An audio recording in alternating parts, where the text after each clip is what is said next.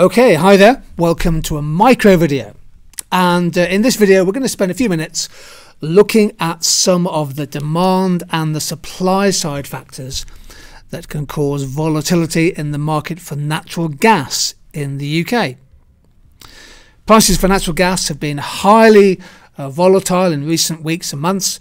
Uh, natural gas is a highly traded commodity and about half the gas consumed by UK households and businesses comes from the North Sea, uh, in particular from uh, Norway, via two interconnectors from continental Europe as well, as well as as well as liquefied natural gas (LNG) from the global market. And although Britain has left the European Union, we are still part of the northwest European gas market, and the price we pay for our natural gas, the price per therm of of energy is determined mainly by wider market conditions. And we're going to look at some of the examples of supply and demand factors which can affect the price of gas either upwards or downwards. Uh, but first, a bit of background on gas consumption in the UK, and then we'll look at what's happened to natural gas prices uh, just recently. So, um, you can see this chart shows basically the primary energy consumption in the UK by source of fuel, and uh, you can see that overall, oil and natural gas by far, far the most consumed primary energy fuels in the UK. Uh, coal demand has, uh, has, really fallen off dramatically over the last 10, 20, 30 years, uh, whilst renewable energies on the right hand side there continued to experience uh, strong growth. Uh, overall, uh, energy use in uh, the UK fell, of course, in 2020 because of the pandemic and lockdown. The, the level of real GDP in the UK fell by nearly 10% in 2020. And some of the demand for energy is, of course, is, of course derived from the needs for energy, including industrial use and transport. Now, this is what's happened to gas prices based on day ahead baseload contracts. So, this, if you like, this is the kind of uh, spot price for gas in the UK. And uh, in August 2021, this chart goes up to the end of the summer of 2021. The, the price had reached a new peak. In fact, it reached 110 pence per therm, uh, partly because of falling pipeline supplies from Norway and Russia, as well as increased uh, demand for gas as the economy picked up. So gas prices have clearly risen very sharply, and the equilibrium price for gas has gone up. Well, what do we mean by the term equilibrium? Well, equilibrium is a state of balance or equality between market demand and supply. And at the equilibrium price, there's no excess supply, a surplus, or excess demand, a shortage. So we sometimes call the equilibrium price a market clearing price where supply and demand are in balance, as they're shown in this simplified diagram here with uh, the price of gas on the y-axis and the quantity bought and sold on the x-axis. So the equilibrium here is P1, Q1. And of course, the price can change when there is a shift in either demand or supply, or perhaps even both. In this diagram, we see an increase in demand, a shift outwards of demand from D1 to D2, perhaps driven by faster growth of the economy, and that leads to a new equilibrium with a higher price P2 and a greater quantity trade quantity traded Q2.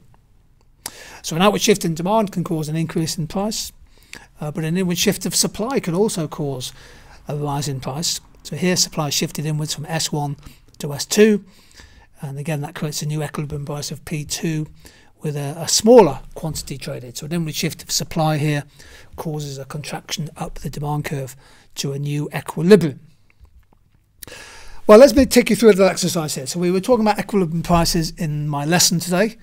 And I said to my students, well, using your knowledge of supply and demand factors, what is likely to happen to the price of natural gas in the following situations?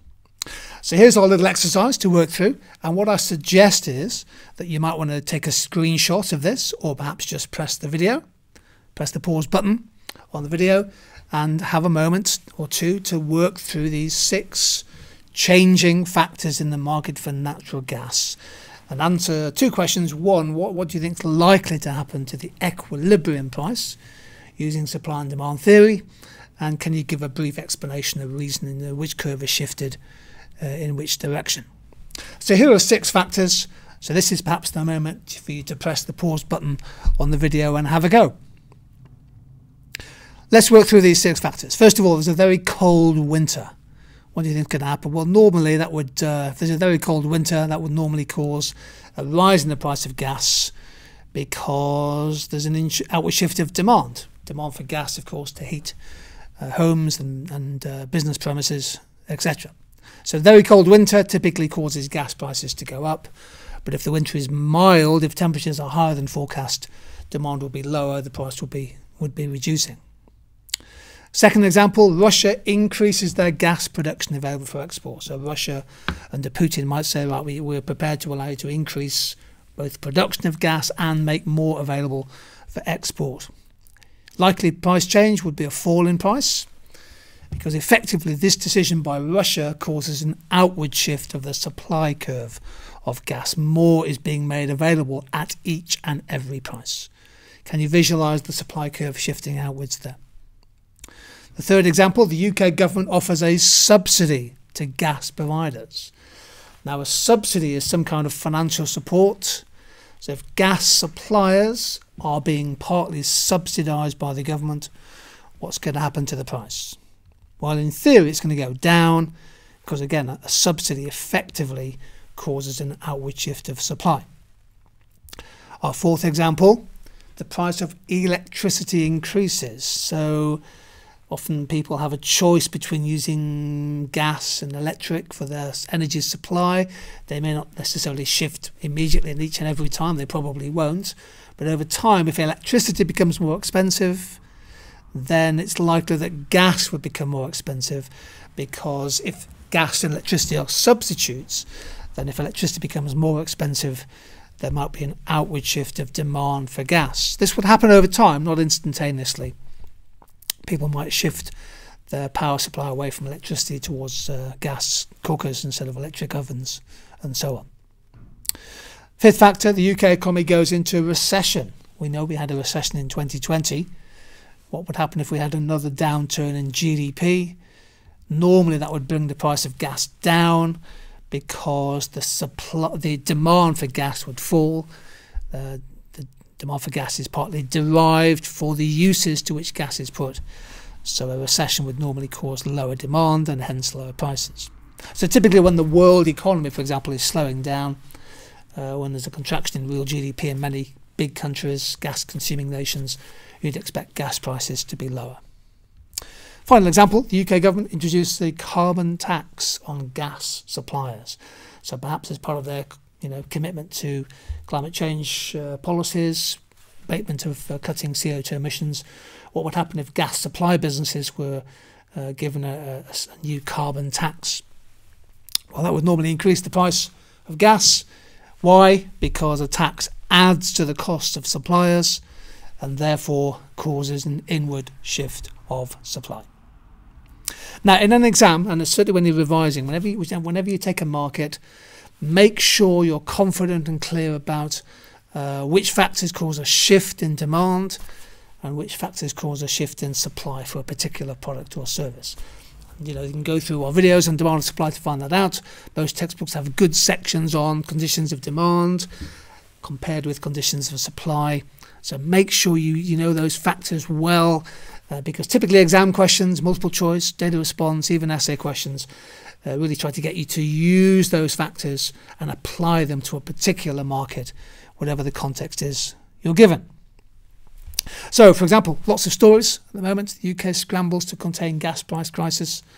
So during September and August of September, there was huge fears about the surging world price of gas, affecting not just gas suppliers themselves, many of whom have gone out of business, because they can't make money having to buy gas very expensively in the wholesale markets, but they're capped in terms of what they can charge at retail level. But higher gas prices affecting everything from uh, supply of products from meat to steel. Uh, fertilizer plants closing down and therefore affecting the supply of, uh, of CO2 as well. But more recently, the price of gas seems to be falling again, which is, I think, probably good news. Uh, in particular, Russia seems to be increasing its supply.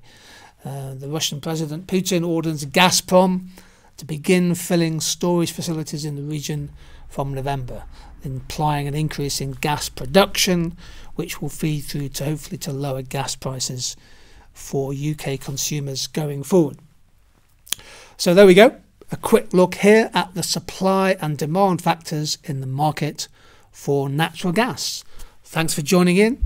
Take care, look after yourselves, and uh, please do join in again sometime soon.